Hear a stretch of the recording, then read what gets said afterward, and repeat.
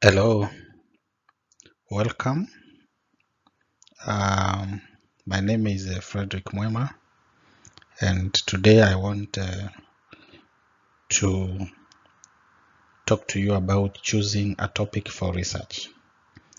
This is an important uh, uh, aspect, especially for students who are starting their graduate school.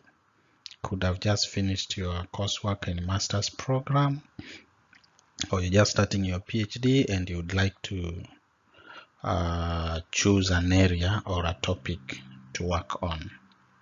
So I'm sharing based on uh, my experience of um, having developed different research uh, topics during my graduate school, uh, as well as having worked with uh, different students uh, in uh, in, uh, in engineering to come up with research titles and eventually completing successfully. Okay, and uh, in this uh, regard, I've developed a framework which um, which which has three aspects.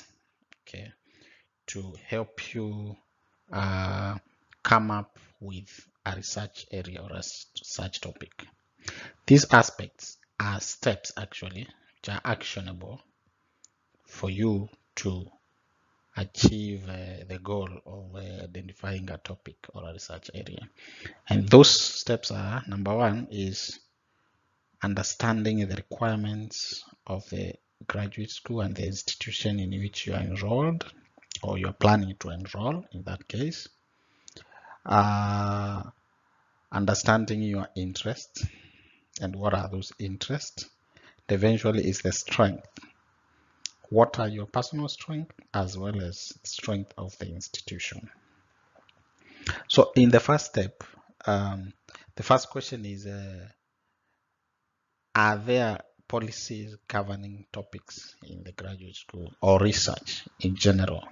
Of course there will always be but in this regard is do you understand them and if you understand them then you are good to go to proceed but in most cases, you find uh, you may not be aware of some of the details of the policies.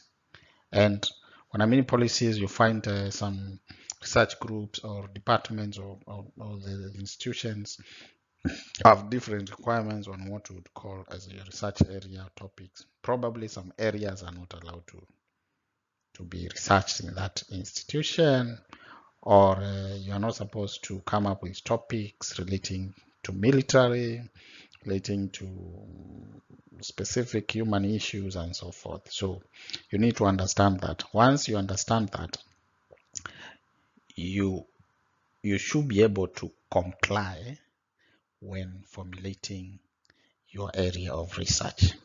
Once that is done, the next aspect is uh, to ask yourself, do you have interests? Okay, and what are those interests? Yes, if you have interest, is my interest in theoretical work? Is my interest in formulating complex theoretical problems and relating the, them with actual problems and explaining some of the fundamental issues in science, in community, and so forth? Is that is that your interest? Or are you interested in purely experimental work? You're the person who loves going to the labs and trying things, trying setups, building rigs. As a mechanical engineer, you're that person who likes um, investigating relationships of different mechanisms in a, in a, in a machine or, or in a material and so forth. Are you interested in community service? Do you want to take something, uh, research in a topic which you bond directly with the community? maybe there is an issue in the community which has bothered you and you think this is the time now you can use this research opportunity to interrogate it and probably formulate a solution to it. Are you that person who is interested a lot in matters global issues of climate change uh, political matters and so forth? And finally specific industry. You could find uh, that uh, you have been sent by a, a, certain industry to undertake research in a, in a, in an institution. Sometimes you find those institutions require you to to solve their problems. So if you're in that, you really have no option. You have to stick with that because there is probably you are bound by rules or contract of that institution. Okay, so those are interests you should consider. Sometimes you find uh, as a as a student you don't know what you want to do. You don't have interests. You are you you you are not here or there. You are in a gray gray area. You don't know what to do. That's the time you need to seek a mentor. a mentor, this takes you to the third step. That's where you have to look at a tutor in or a professor in the faculty uh, which you are planning to enroll or an expert.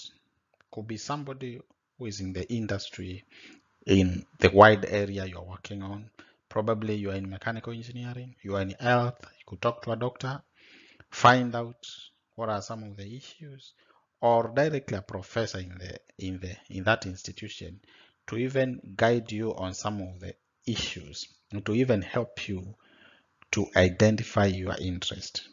One of the things is a, uh, a professor will help you to identify or even cultivate interest in research in you. So once that is uh, is done, now we go to identifying your strengths.